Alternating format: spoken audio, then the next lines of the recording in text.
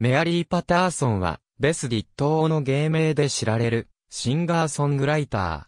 ロックバンド、ゴシップのボーカリスト。シザーシスターズのリードシンガーなマトロニックと親友。最も好きな歌は、X、レースペックスの、オーボンデージアップユアーズ。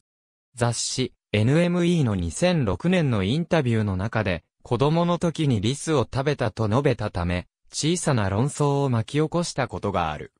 自分自身をパンクとみなして、デオドラントはつけない。しかし、脇毛の処理は行っている。かつて、パンクって臭いのが普通でしょと述べたことがある。立東が、肥満体を隠さず晒すことで、大衆は、肥満体に対して誤った認識をしてしまう、危険性があると医者にコメントされたことがある。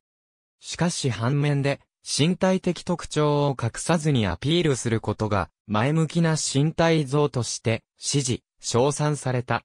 以前、ガーディアンのコラムに、身体像に関するアドバイスコラムを寄稿していた。2009年2月に雑誌、ラブの初日のカバーモデルとして、ロンドンで取り上げられた。